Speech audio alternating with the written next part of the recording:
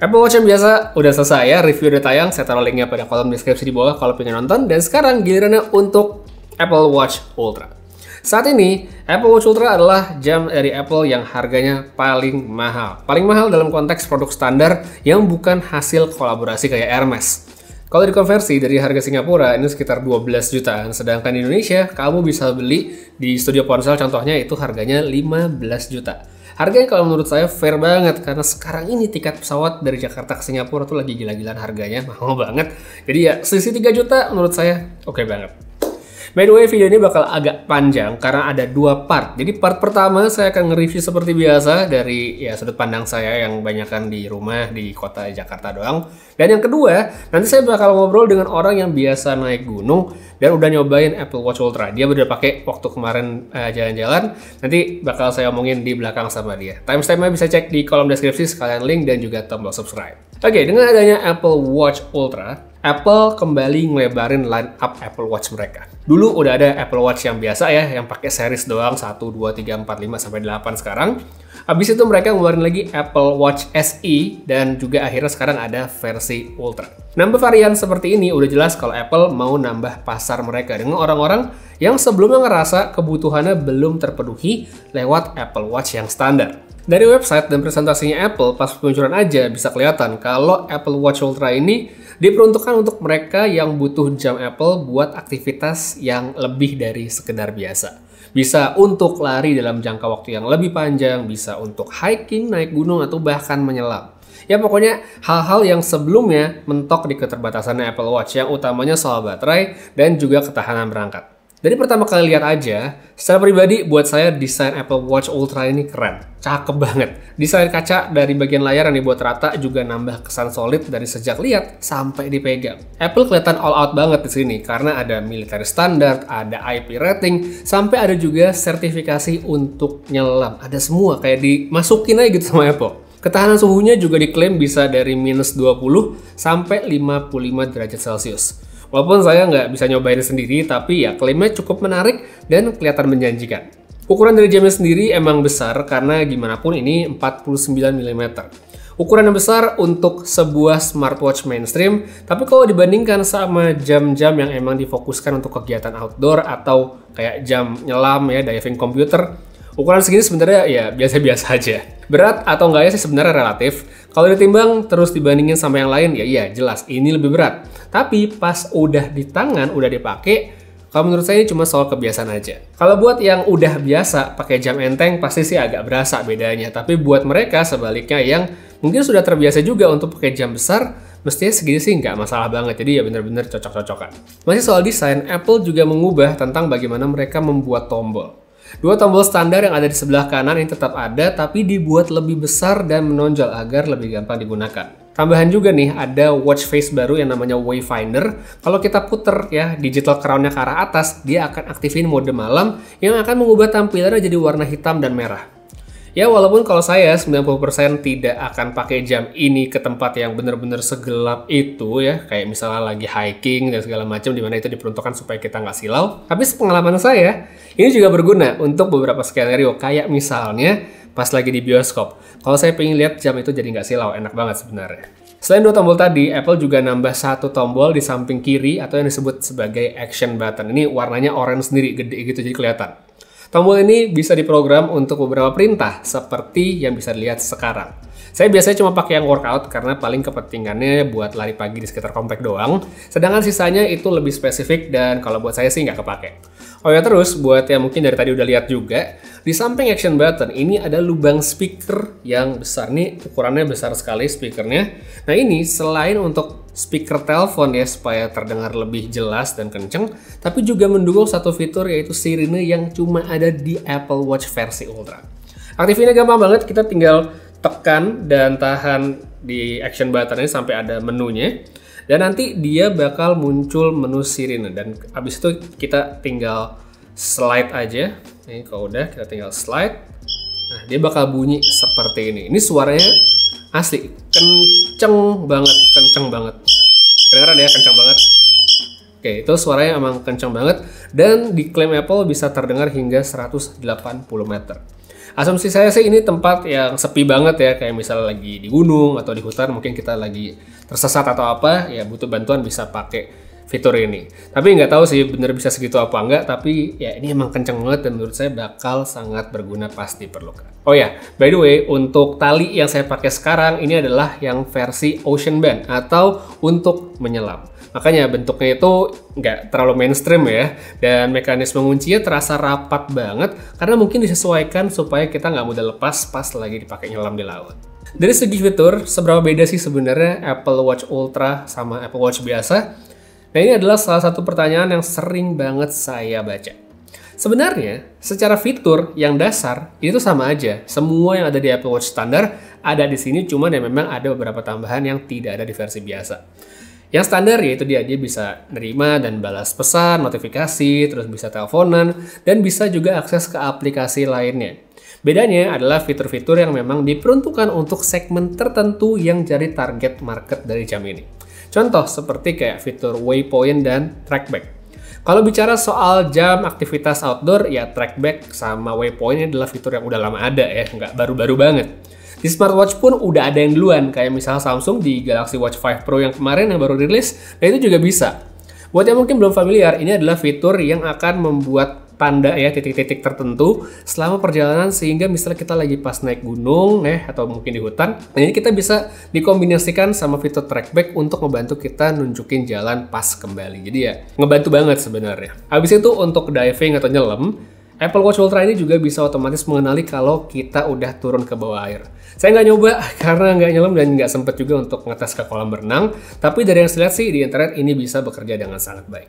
Oh ya ini nggak cuma bisa dipakai air tawar doang ya, tapi emang bisa bener-bener dipakai nyelam di laut. Dan menurut saya ini adalah satu kelebihan yang belum bisa ditawarkan oleh banyak smartwatch saat ini. Jadi kurang lebihnya yang ngebedain Apple Watch Ultra sama jam biasa itu tadi cuma soal desain yang terlihat lebih keren kalau menurut saya sama fitur tambahan yang barusan saya omongin. Satu lagi ya palingan itu bagian baterai aja sih yang memang lebih awet wajar dengan ukuran yang besar tapi ya ini juga nggak bisa dibilang yang awet banget. Dalam kondisi pemakaian sehari-hari itu saya bisa dapat maksimal sekitar tiga hari dengan always on display-nya nyala. Tapi itu untuk pemakaian standar ya kayak saya di cuma di kantor segala macem.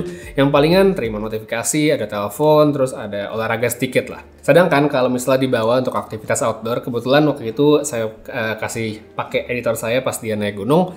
Dan dari pengalamannya dia jam ini bertahan sekitar satu setengah hari ya dalam posisi tracking hiking yang aktif selama kurang lebih 7 jam untuk naik dan turun.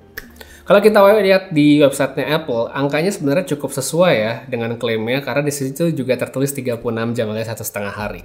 Tapi di situ juga keterangannya adalah merupakan penggunaan biasa ya. Jadi ya cukup berbeda sebenarnya apa yang dilakukan sama editor saya. Tapi gimana pun tetap ini adalah Apple Watch yang baterainya paling awet saat ini. Ya itu dia untuk review sederhana saya untuk part pertama. Nah, habis ini kita bakal ngobrol sama orang yang udah pakai kita tanya bagaimana pengalaman dia dan kalau menurut dia yang udah sering pakai jam-jam outdoor kira-kira worth it atau enggak sekali nanti kita ngomongin kesimpulannya. Ya, oke, okay. sekarang kita lanjut bersama saya sekarang nih ada Doni. Ya. Halo. Nah, ini namanya Doni, dia adalah orang di balik kamera dan komputer dan editing ya. Iya. Yeah. Beberapa bulan terakhir ya, tiga bulan terakhir. Nah, jadi dia tuh abis kemarin kemarin kemarin Papandayan Papandayan dia dia emang anak gunung dia suka naik naik gunung gitu udah sering nah jadi pas banget ada Apple Watch Ultra daripada gue yang pakai cuma di sini doang gitu nggak ada experience. Jadi kemarin dia pakai nih. Sekalian ya mas? Sekalian. Nah gimana pendapatnya selama pakai ini waktu kemarin perjalanan? Sebenarnya kalau dari penggunaan sih ya sama aja kayak sport watch yang lain.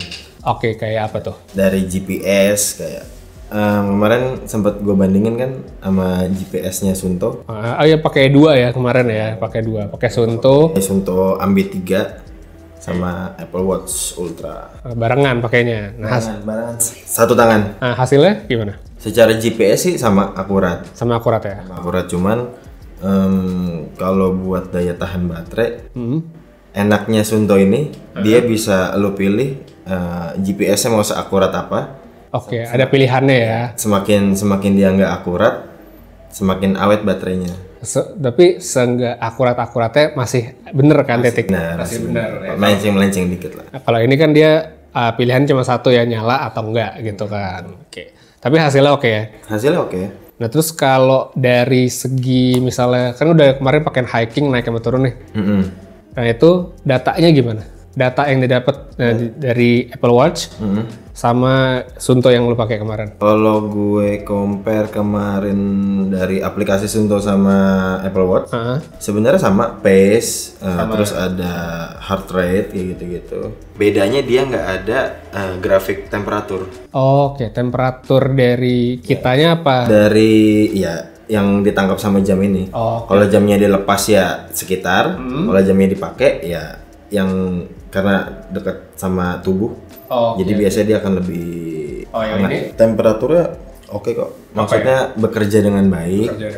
Altitude-nya bekerja dengan baik, Hmm. GPS-nya bekerja dengan baik, Kompasnya? kompasnya bekerja dengan baik. Oke, kompasnya GPS jadi nggak ada masalah ya. Nggak ada masalah. Nah terus kalau baterai gimana? Baterai itu kemarin gue pakai dari 100%. Hmm, Dia gue pakai hiking 4 jam naik ya. naik dengan posisi eh, hujan ya. Oke, Dengan posisi hujan terus dia ada di 60%. pas sampai atas. Ya, 60% gue pause. Oke, di Nggak di stop. Oh, di pause. Oke. Oke, gue pause. Ternyata dia thread eh, ya monitornya dia nyari terus Oh, running terus. running terus. Ya, jadi lumayan makan baterai sekitar 20%. Jadi sisa 40%. 40% pas turun. Eh, Pas malam Oh, pas malam tuh udah 40%. 40%. Oke. Jadi akhirnya gue stop, gue matiin. Besok paginya pas mau turun sisa 20%. Turun lagi. Oh, nggak jadi eh, kan udah stop nih malam. Tinggal tidur, Tinggal tidur bangun 20%. 20%. Oke, jadi pas tinggal post mau turun tuh tinggal 20%. 20%. Em, itu paginya sempet gua sunrise. Itu sempat gua pakai buat kayak foto-foto kayak gitu-gitu sih. Jadi em, nggak pakai GPS, nggak pakai paling kayak mungkin dia menyesuaikan eh, altitude, temperatur kayak gitu-gitu. Jadi running terus kan. jalan terus ya. Nah tapi nah, kalau misalnya lu bandingin nih, eh, ini kan ibaratnya eh, smartwatch yang mencoba jadi smartwatch ya kan. Jadi ya dia Apple Watch tapi fitur-fitur ditambahin kan beda sama kayak Sunto atau Garmin itu kan smartwatch yang mulai jadi smartwatch. Nah kan, jadi kayak kebalik gitu. Nah kalau menurut lu ini gimana? Oke nggak dengan harganya yang 12? Let's say misalnya kita bandingin sama smartwatch yang harganya segitu juga. Em, kalau misalkan dengan fitur yang ada sekarang, sebenarnya agak lumayan overpriced. Oke. kecuali dia nanti improve lagi eh, kayak em, sebenarnya kan gue belum belum riset lagi ya dia tuh bisa masukin GPX file apa enggak Oh. karena buat eh, beberapa orang yang biasa pakai eh, eh, smartwatch kayak gini dia bisa masukin file GPS jadi dia kayak track back gitu dia bisa eh, nunjukin jalannya ke mana Oh, oke oke. Jadi lebih ke software update-nya aja jadi walaupun dia nih eh, let's say kan eh, dia tuh bener-bener kayak apa ya? All in one gitu lah. Jadi emang bisa lo pakai hiking, bisa lo pakai diving juga gitu, tapi harganya menurut lu masih mendingan smartwatch biasa. Hmm, iya karena mereka kan udah lama nih berkecimpung di situ. Sedangkan kalau Apple Watch kan baru. Mungkin nanti akan ada update-update-nya lagi, improve-nya lagi. Tapi kalau buat produk baru sih oke. Oke Lumayan. ya. Oke ya. Jadi kalau misalnya dengan harga yang sama, lu misalnya lu untuk keperluan yang spesifik untuk aktivitas outdoor mendingan jam biasa kalau menurut. Mendingan jam biasa. Cuman memang desainnya bagus. Desainnya bagus ya sih. Sama ya mungkin kalau ya itu dia ini kan smartwatch ya, smartwatch jadi ya fiturnya pasti lebih kaya dibanding itu. Cuman kalau untuk fitur spesifik yang emang trackingnya ya jam yang beneran. Sebenarnya enaknya tuh kemarin tuh ini mas. Eh, kan gue nggak nggak nggak ini ya nggak biasa pakai Apple Watch. Terus kemarin gue pakai di mobil terus gue setel lagu. Enaknya gue bisa ganti lagu pakai jam. Oh oke oke oke. Kalau itu nggak bisa ya? Nah ini nggak bisa. Oh, Paling buat notifikasi eh, WhatsApp, eh, iMessage kayak gitu. Eh, tapi kan nggak bisa balas juga kan cuma lihat doang kan. Nah, ya itu bedanya smartwatch sama smartwatch ya gitu ya. Jadi itu kalau menurut lo ya. Worth it atau enggak kalau misalnya kalau menurut gue ya ini buat yang mungkin kayak saya gitu mungkin nggak naik gunung tapi ngelihat oh ini jamnya keren ya. Sebenarnya ini masih worth it untuk dibeli kalau ya ada duitnya gitu. Nggak masalah gitu karena emang harus diakui jamnya keren. Asli jamnya tuh keren tinggal diganti strapnya yang lebih normal mungkin nggak warna kuning seperti ini. Pasti kelihatan keren apalagi ya itu kan desainnya kayak gini ya. Sekali lihat orang pasti tahu ini Apple Watch gitu kan. Apalagi biasanya kan orang yang pakai Apple kan ya selain untuk fungsi juga pasti kan ada pengen pengen flexingnya juga gitu. Jadi ya Apple Watch Ultra ini ya oke-oke aja untuk dibeli kalau emang rasa ada duitnya untuk ngeluarin segitu dan ya kepake atau enggak sebenarnya ya belakangan tinggal yang rasa cocok atau enggak. Gitu sih.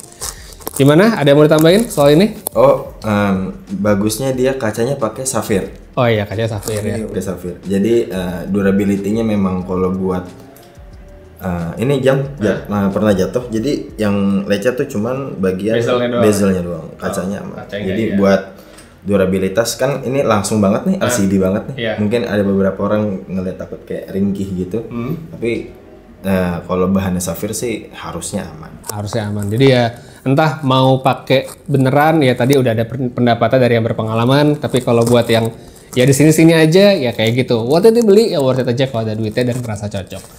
gitu. Oke, kalau mau beli seperti biasa linknya di bawah ke studio ponsel aja. Untuk sekarang kayak gitu dulu. Makasih banyak untuk sampai habis. Putri Reza pamit dan seperti biasa have a nice day